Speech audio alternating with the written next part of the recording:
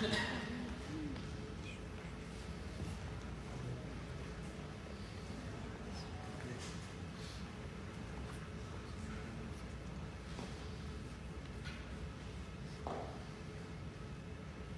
بس التصوير هنا مسموح. مسموح ها؟ ولا هو ممنوع مرة بس هنا مسموح. Allah يجازيك خير الله يحفظك. Normalement c'est interdit de photographier mais aujourd'hui il tolère. D'accord, il dit si vous voulez vous pouvez faire des photos et éviter les vidéos. او ممكن تصوروني اذا انا التفت طيب هذه المدينه المنوره في زمن النبي عليه الصلاه والسلام Donc ici c'est la ville de Médine à l'époque du prophète alayhi afdal salatu wassalam. طيب المربع هذا الذي في المنتصف هذا هو المسجد النبوي الشريف في زمنه Donc la partie centrale c'est la mosquée du prophète sallallahu alayhi wa sallam. طيب ابواب المسجد هذا الباب اسمه باب جبريل عليه السلام Donc la, porte qui clignote, c'est la porte de Jibril.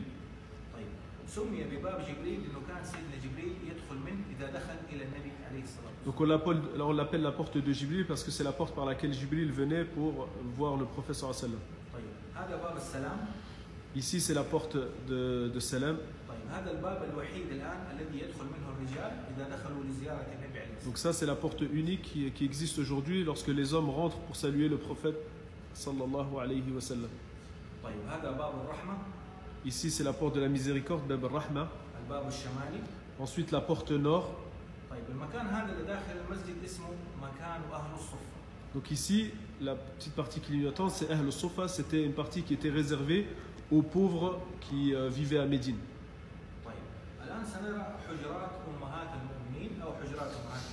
Donc nous avons parlé des petites maisonnettes du prophète sallam, des femmes du prophète sallam. Donc ici c'est la petite maisonnette de Hafsa, euh, l'une des épouses du prophète sallam. Ensuite Safiya, Ramla, Ramla Zainab bint Jahsh, Umm Salama, Umm Salama, Sauda, Sauda, Jouaïriya. Et ici, c'est Hujrat Aisha radiallahu anha, la maison où il est enterré aujourd'hui le prophète et c'est là où il est, il est mort.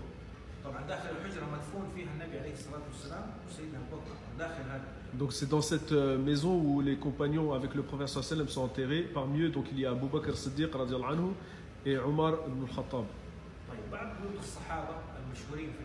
Donc il y a quelques demeures qui sont connues de certains compagnons ici sur ce plan.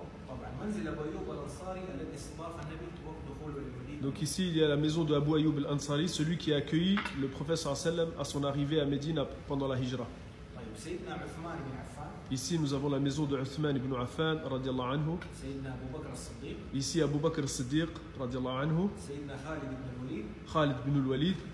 وسي- والمنزل اللي مرافق للحجرات هذا منزل سيدنا علي بن ابي طالب والسيده فاطمه Et ici, la maison qui est collée à la maison du prophète sallallahu alayhi wa sallam, c'est la, la maison de sa fille, Fatima, euh, et de son gendre, Ali ibn Abi Talib.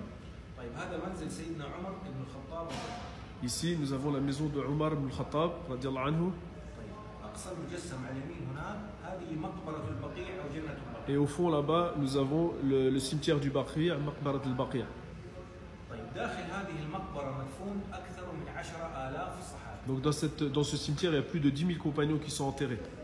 طيب الى الان اي انسان يموت داخل المدينه يدفن في هذه المقبره Donc toute personne qui meurt aujourd'hui à Médine, elle est enterrée dans ce cimetière, le cimetière du Baqi'.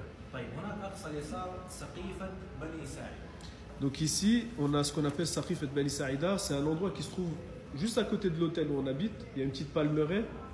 Hein, quand, on sort de l'hôtel pour aller vers la mosquée, il y a une petite palmeraie.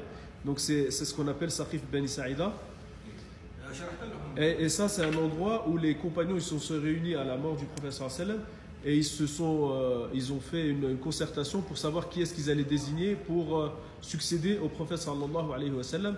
Et c'est à cet endroit-là, dans la Saqifa, qu'ils ont désigné Abu Bakr Siddiq pour être le premier calife de l'islam.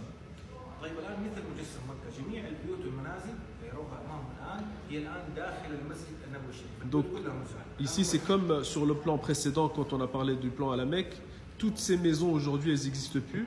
Et elles font toute partie, toute cette partie-là, elle fait partie de la mosquée du professeur sallam aujourd'hui.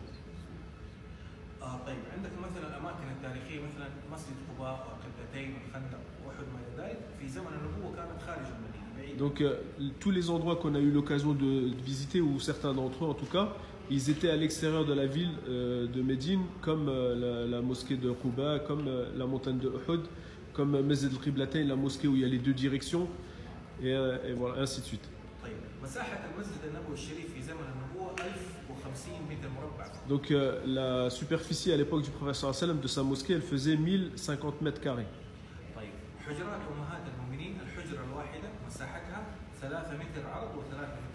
Donc les, pour ce qui est des maisons du professeur la maison elle faisait 3 mètres sur 3.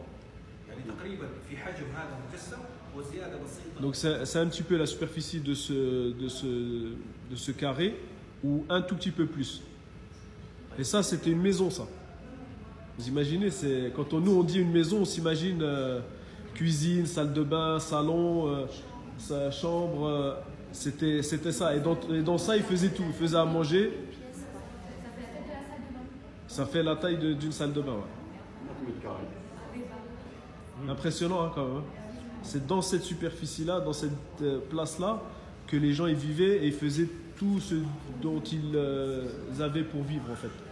طيب هناك ناس يعني يحسبون ان هذه الحجره مثل المنزل اللي نعيش فيه مثلا غرف نوم وحمامات ومطابخ هي غرفه واحده داخلها غرفه النوم والمطبخ وكل ما يعني الواحد سبحان الله يشوف الزهد والبساطه اللي كان يعيش فيها Donc c'est- ça revient à ce qu'on était en train de dire. Nous, quand on parle d'une maison, on a l'impression, on- tout de suite dans notre esprit, on pense à un salon, une cuisine, une salle de bain, une entrée, euh, un balcon, etc.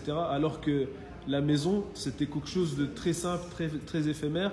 Et c'était dans ces endroits-là qu'ils faisaient tout. Ils faisaient à manger, c'était, ils dormaient, ils vivaient, ils faisaient leurs euh, relations euh, euh, sociales. Donc c'était vraiment très très limité, mais dans, dans cette partie-là, c'était leur vie en fait qui, euh, qui, se déroulait. Et il dit aujourd'hui, nous vivons dans des demeures où euh, euh, on, vit dans des grands espaces et on se dit, mais là on est dans des endroits tout exigus. Donc c'est. Hein, c'est Comment? Aujourd'hui, on ne pourrait pas on ne pouvez pas vivre comme ça. Bah non, les gens aujourd'hui ne supporteraient pas de vivre comme ça, de cohabiter dans une seule et même pièce, de tout faire dans, la, une seule et même pièce. Ouais, c'est vrai, c'est vrai. C'est, pas donné à tout le monde, surtout pas à notre époque. Si vous avez des questions,